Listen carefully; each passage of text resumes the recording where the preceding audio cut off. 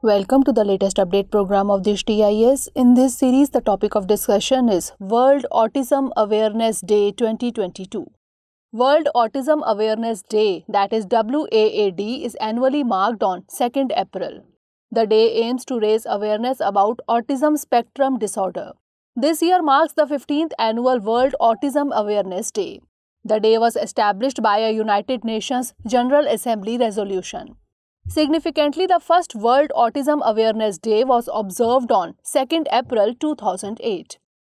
This year's theme for the day is Inclusive Quality Education for All. The focus of World Autism Awareness Day 2021 was Inclusion in Workplace. Now, information about autism or autism spectrum disorder ASD. It is a lifelong neurological condition. The condition constitutes a diverse group of conditions related to the development of brain.